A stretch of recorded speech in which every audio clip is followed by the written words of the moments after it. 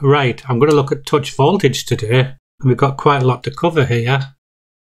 How to calculate touch voltage and fault current. We've got the voltage factors, C max and C min. We're going to look at the voltage which will actually appear at the fault, and we're going to look at touch voltage for an installation with and without protective bonding and with supplementary protective bonding. And also, is main bonding actually effective? So quite a bit of ground to cover. So, what is touch voltage? It's a voltage that will appear between simultaneously accessible conductive parts during a fault. So that's between exposed and extraneous conductive parts, or between a conductive part and earth. Generally, we want to keep any touch voltage below 50 volts. BS7671 has no specific reference to touch voltage, but it does have this reg here the resistance between simultaneously accessible exposed conductive parts and extraneous conductive parts shall fulfill the following condition. Resistance is less than 50 volts divided by IA. IA is the operating current of a protected device. This is often used in special locations. We're basically checking that the resistance of the circuit will not slow down disconnection times and any voltage that will appear is supposed to be less than 50 volts. It's really more to do with time though than voltage. Time is the crucial thing. We really need that protected device to operate as quickly as possible. 0.4 of a second for TN systems, 0.2 of a second for TT systems, but ideally we want it to operate instantaneously, less than 0.1 of a second, because it's time that's really important in limiting the effects of current on a person it seems the body can stand a little bit more current for a very short time. We want it to trip off within half a heartbeat so we don't disrupt the heart's rhythm. Magnitude will, of course, have some effect as well.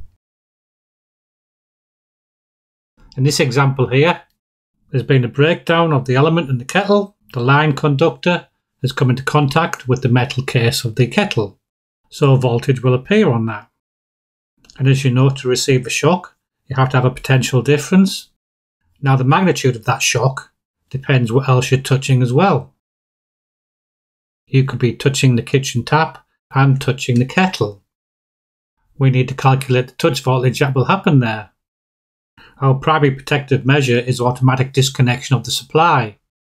And for that to be effective, we need protective earthing, such as our CPCs, which will clear the fault in a very, very short time. We have our protective equipotential bonding, which will limit the voltage that will appear, the touch voltage. So I was thinking of time and touch. So in this example, we have a TNCS earthing system. And so our protective earth and neutral are combined on the supply side and separated at the installation.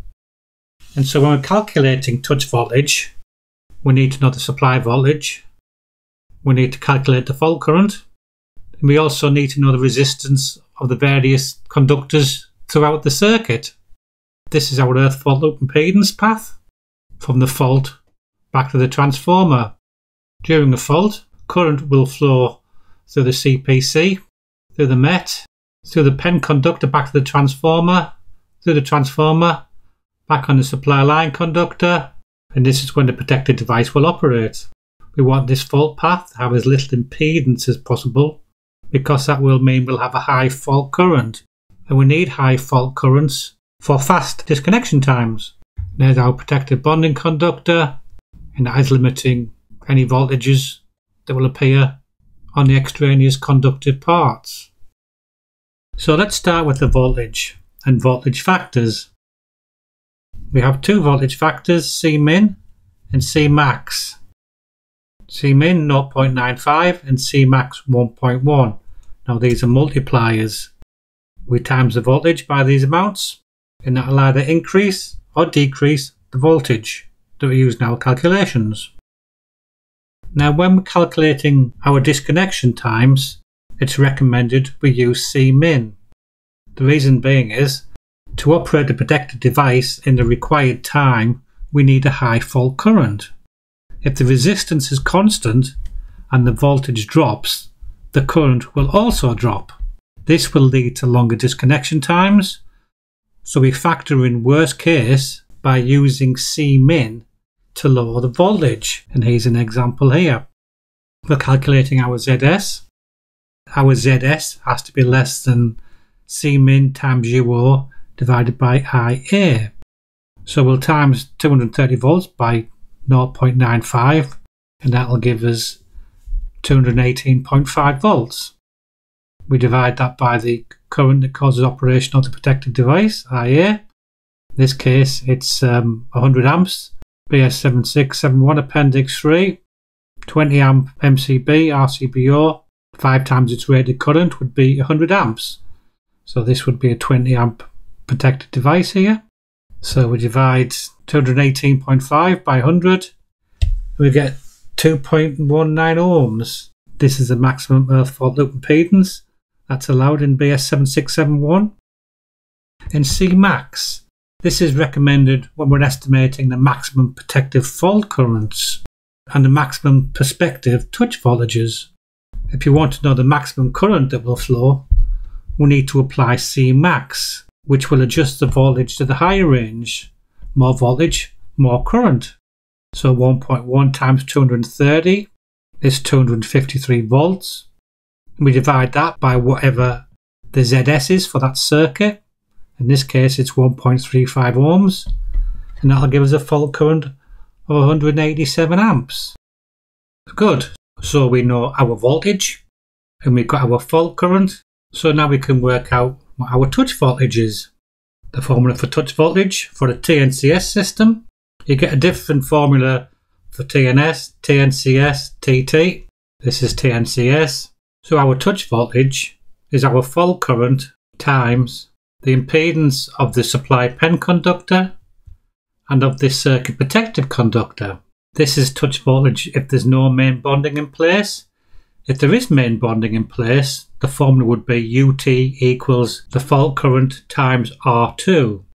Right, so Z pen, that is the impedance of our PEN conductor, the return path from the cutout to the transformer. In our R2, that's the impedance or the resistance of our circuit protective conductor. This will be the resistance of the CPC from the kettle to the main earthing terminal. The other resistances are impedances. Impedance is an AC term. Impedance is when there's AC current flowing through a conductor. Resistance is a measurement you would do, say, with your multifunction tester. You'd do a DC test, that'll give you resistance. Impedance is when there's AC current in the circuit. So the other important resistances we need to know is our R1.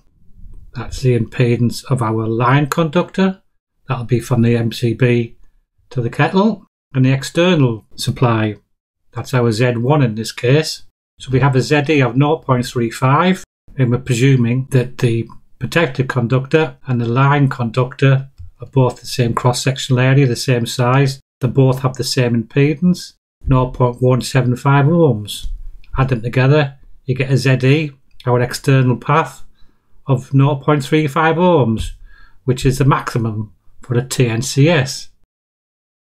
I'd just like to go off on a little bit of a tangent here and discuss volt drop.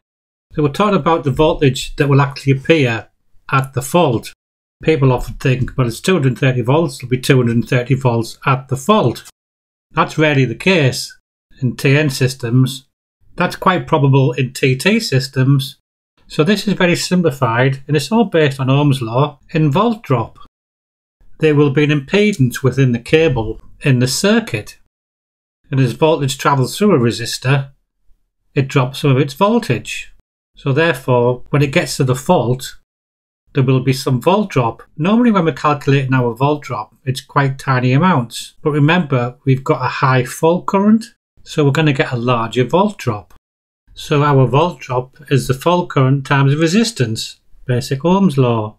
In the external line, Z1, we have an impedance of 0.175 ohms, and the impedance in that leg will drop 33 volts, which will leave 220 volts. Remember, this is very simplified. And then from the MCB, we have the R1 to the kettle, and that's got an impedance, a resistance of 0.5 ohms, and that's going to drop 94 volts. which will leave 126 volts at the kettle. So the voltage at the kettle will be 126 volts.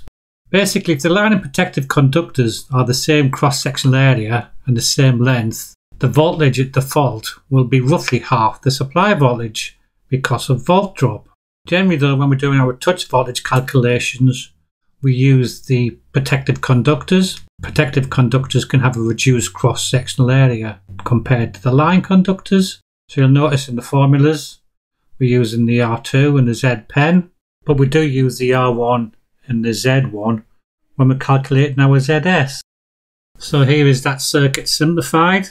And you can see if you split the leg into two halves, the R1 and the R2s, and each leg we're dropping about 127 volts. Times that by 2, you get around 253 volts. Total resistance is 1.35 ohms. You times that by the fault current, 187 amps, and that gives you 253 volts. Now here's the touch voltage formula for when we have bonding in place. UT equals IF times R2. And it tells us that our touch voltage will be 93.5 volts. Now we had 126 volts at the kettle, and then on the leg from the kettle to the met, we've dropped 94 volts, which will leave 33 volts on the met. So our met is at 33 volts above true earth. Now the main protective bonding is connected to that MET. We have 126 volts on the kettle, and because the tap is connected to the main earthing terminal with equipotential bonding, that'll raise the potential of the tap as well to 33 volts.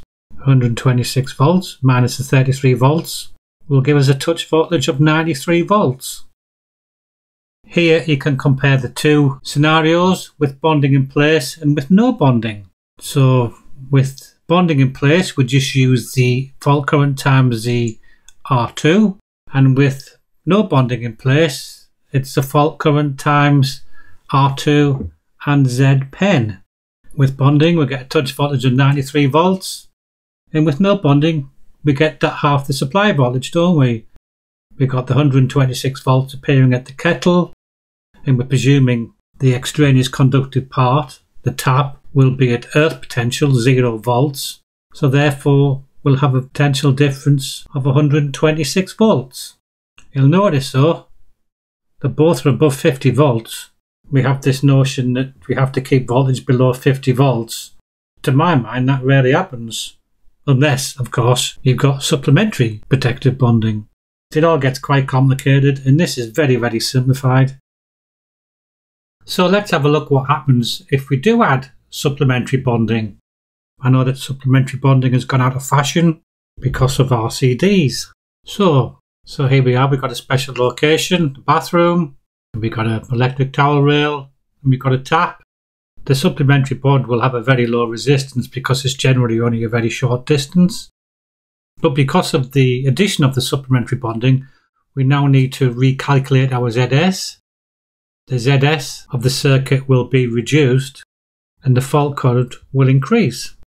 So our formula for ZS is ZE plus R1 plus R2. We have some resistors in parallel here, so our R2 becomes a little bit more complex. Our R2 was 0.5, supplementary bond is 0.05. From resistors in parallel, and we get a value of 0.05. And We have to add that to our R1, which is 0.5. 0.5 plus 0.05 equals 0.55 we have to add our ZE, which is 0.35. 0.35 plus 0.55 equals 0.9. So as you can see, our ZS has been reduced. We do our fault current calculation. IF equals C max times UO divided by ZS. So that will be 253 divided by 0.9 gives us our new fault current of 281 amps. But this is a parallel circuit, so the current is not going to be constant, is it? The current will be shared a little bit. The majority of the fault current will flow via the supplementary bonding because it's a lower resistance path, but some will still flow through the R2. And this is where we get into a bit of guesstimate, dodgy maths alert. So I'm going to use 250 amps for the current flowing through the supplementary bonding. So 250 times 0.05 equals 12.5 volts. So our touch voltage has come down to 12.5 volts because of the addition of supplementary protective bonding. And the exposed and extraneous conductive parts are joined together. The potentials are almost equal. We haven't got a large volt drop. RCDs have taken over from supplementary protective bonding, but you can see the benefit of it.